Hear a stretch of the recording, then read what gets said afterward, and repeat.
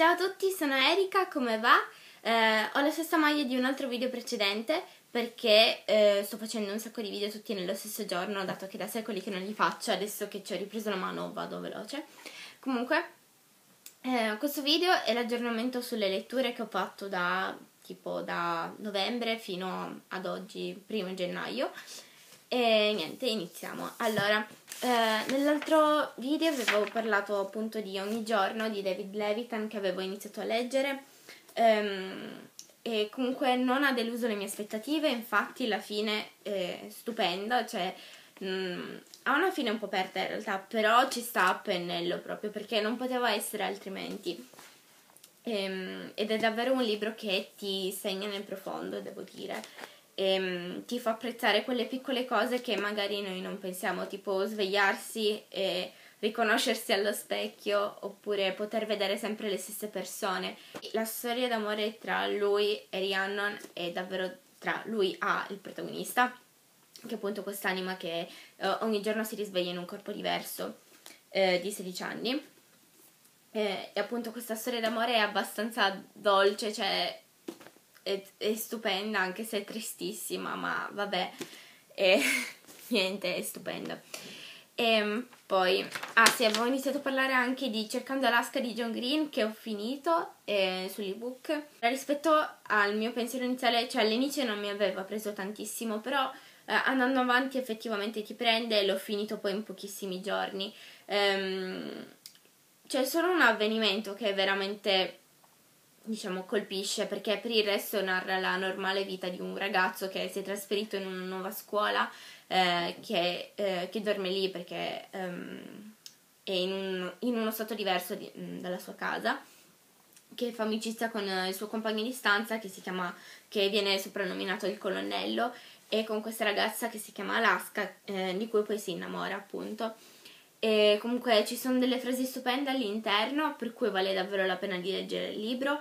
Eh, sinceramente io mi aspettavo questo colpo di scena che caratterizza il libro, forse perché inconsciamente lo, lo sapevo già perché l'avevo letto da qualche parte quando ancora non conoscevo bene il libro. Cioè ancora non conoscevo il titolo e John Green non era così famoso comunque. Um, però vale davvero la pena di leggerlo anche perché per essere il romanzo di esordio era davvero scritto bene e, ehm, e niente, poi io tipo vorrei leggermi tutti i libri di John Green perché mi piace un sacco come scrive. Prima o poi lo farò, magari quest'anno, spero di riuscire a finire entro quest'anno, tipo un libro al mese. Boh.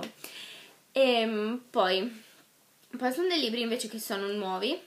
Allora, eh, dato che nell'ultimo periodo avevo un sacco di verifiche, eh, ho letto uno di quei due libri lì che avevo preso alla fiera, eh, in cui, che praticamente avevo parlato pagato 0 euro, che erano alcune di quelle guide, diciamo, per tipo cavarsela con uh, i ragazzi o cose del genere, che in realtà sono inutili, però a me piace un sacco leggerle, cioè tipo sono come i test su, non so, su cioè sono inutili, però, boh, a parte che chissà, io non l'ho più visto cioè in edicola, boh, non so nemmeno se esista.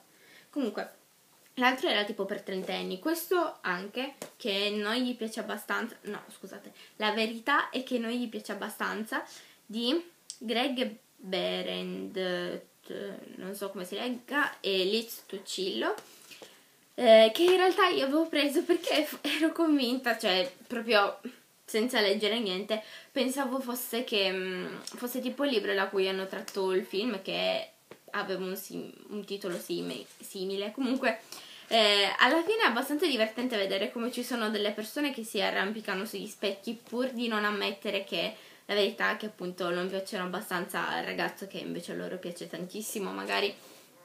Ehm, poi c'è questo Greg che dà consigli, eh, però tipo, poverine, le ragazze tipo gli scrivono, ma eh, eh, questo qui mi ha scritto, però non so se è così, eh, ma, ehm, ma, ma, ma, magari è solo timido oppure non ha molto tempo, così.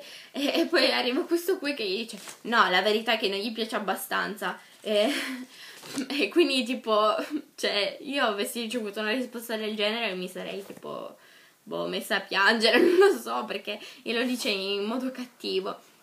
però poi allo stesso tempo ti fa anche apprezzare te stessa, magari, tipo ogni tanto ti ricorda che sei splendida così e basta. Non, non vale la pena spenderci soldi, però se vi capita di trovarlo tipo perché non so che vi finisce come è successo a me che io praticamente non l'ho pagato perché l'ho preso in um, omaggio come libro in più ehm, perché praticamente avevo comprato questa serie di libri enormi, no? Tipo, allora il tizio mi ha detto ma prenditi un altro libro, tanto ormai, ok. Allora ho preso questi qua perché gli altri non mi piacevano proprio a zero. Comunque, e, e ho scelto di leggerlo in questo periodo appunto perché comunque eh, con la scuola non, non riesco a, a, tenere il filo di una storia più intricata e quindi questo qui erano solo tipo capitoli di due pagine, qualche lettera, boh eh, divertente per passare il tempo se non hai nient'altro da fare e non puoi leggere una storia continua. Poi a me tipo piacciono un sacco appunto le guide, non solo di questo genere, ma tipo anche quelle sulla legge dell'attrazione o ne avevo letto un'altra ma non mi ricordo adesso. Comunque mi intrippo un casino con queste cose anche se sono inutili in realtà, però vabbè. Eh, poi, ah sì, ho iniziato a leggere la saga di Harry Potter finalmente e ho letto Harry Potter e la pietra filosofale e la Camera dei Segreti ovviamente di J.K. Rowling non dovrei neanche starlo a dire, comunque... Ehm, eh sì, sono davvero belli, per quanto questi sono ancora i libri scritti in forma tipo da bambino, perché comunque il protagonista ha 11 anni. E ehm, niente, non penso di avere altro da dire sul maghetto più famoso del mondo, perché voglio dire, chiunque conosce la storia di Harry Potter, penso a parte forse mia cugina che non ha mai visto i film. Cioè, vabbè, lasciamo perdere perché mi viene nervoso se no scherzo. Le voglio mandare bene. Comunque, ehm, il primo libro è davvero infantile perché comunque, però ha questa atmosfera di magia e di cose fantastiche che è davvero stupenda e boh, tipo vorrei essere anch'io lì a Hogwarts e potermi comprare tutte quelle cose stupende in diagonale e Vabbè, ok. E invece dal secondo, quindi dalla Camera dei Segreti, inizia a, a farsi la storia un po' più pesante, diciamo, nel senso, no, nel senso che pesante la lettura, anzi perché l'ho letto in un giorno, tipo. E, ehm, ma nel senso le tematiche eh, diventa un po' più cupa e c'è sempre più mistero e effettivamente secondo me il motivo per cui piace, a parte eh, tutte quelle cose tutte magiche, stupende, che oh, vorrei tanto essere lì. Comunque, a parte quelle cose là, l'altro motivo per cui secondo me piacciono questi libri è che comunque c'è questa traccia di giallo, no? E non mi sorprende il fatto che la Rowling poi sia finita a scrivere romanzi gialli come Richiamano il cuculo, che prima o poi leggerò, dopo aver finito però la serie di Harry Potter, ovviamente. Ehm, niente, davvero stupendo. Chi non l'avesse ancora iniziata a leggerla, iniziate a leggerla, dai, ce l'ho fatta io, ce la potete fare anche voi. Ho iniziato già il prigioniero di Azkaban, sono tipo pagina 100 e boh, spero di finirlo prima della fine delle vacanze, anche se dovrei leggermi anche eh, tre libri di scuola non li ho ancora iniziati sono nei casini. Scusate. Vabbè, comunque, prima o poi ce la farò perché tanto... Cioè, tipo questa settimana ho letto un libro al giorno, boh ero presa benissimo con le letture. E poi l'ultimo libro che ho letto, sto andando veloce perché non, non, voglio fare un video lunghissimo per annoiarvi, tanto probabilmente ne dovrò fare uno fra un altro mese, visto che ho appunto i libri delle vacanze da leggere. E l'altro libro che ho letto, che ho finito proprio tipo l'altro ieri, è questo, Milioni di farfalle di Eben Alexander, eh, che racconta appunto di questo neurochirurgo americano che è sempre stato scettico ehm, riguardo tipo la fede, a credere in Dio, tipo nel 2007 mi pare, viene colpito da una meningite batterica da Escherichia ehm, e quindi rimane in coma per 7 giorni o 6 o 7 giorni. E quando si risveglia eh, praticamente è intatto perché allora per chi non lo sapesse comunque perché queste sono cose abbastanza scientifiche comunque. Eh, la meningite batterica è una di quelle malattie che tipo ti mangia il cervello, quindi anche nel, nel caso assurdo in cui tu ti risvegliassi dopo il coma, che comunque di sette, sette giorni è già tantissimo, cioè è proprio un miracolo il fatto che questo medico sia stato si sia risvegliato vivo e per di più con la mente intatta. E comunque um, questa meningite batterica uh, ti divora il cervello. La cosa strana è che eh, lui ha avuto una meningite batterica dai Escherichia L'Escherichia coli è un batterio, mi pare, che si trova nello stomaco. E quindi teoricamente lui non potrebbe avercela avuta nel, nel cervello a meno che non avesse fatto tipo un, um, un intervento di, di neurochirurgia oppure eh, avesse avuto tipo un trauma cranico molto forte. Cosa che però a lui non è successa, tipo il giorno prima stava benissimo, il giorno dopo si è svegliato e aveva tutti questi dolori, quindi è stato portato in ospedale, è entrato in coma e per sette giorni eh, non si è più svegliato.